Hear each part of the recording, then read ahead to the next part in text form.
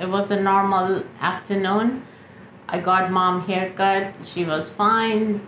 She came. We were having good conversation. She was sitting on recliner, and all of a sudden, in the middle of conversation, her speech went like blah blah blah, and her lip, the bottom lip, went extreme left.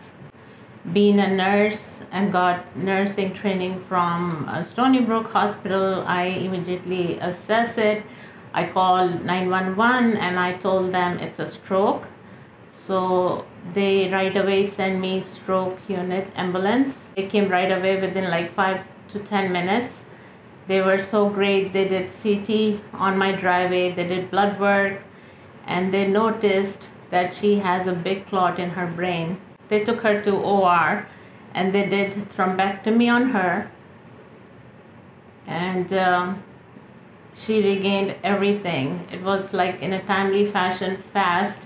If it was delayed, she would be quadriplegic or paralyzed. I was upstairs um, actually in a meeting, and all of a sudden I hear my mom say, Call 911. So I ran downstairs and I saw that my grandma was unable to speak.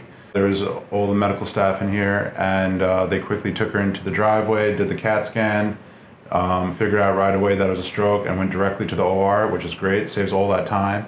And um, I was hopeful, but you know, the stroke was a pretty massive stroke. I actually went to Stony Brook myself, I'm an alumni, and, um, and I'm very proud of both my mom and Stony Brook Hospital. Every single person had an impact on her recovery.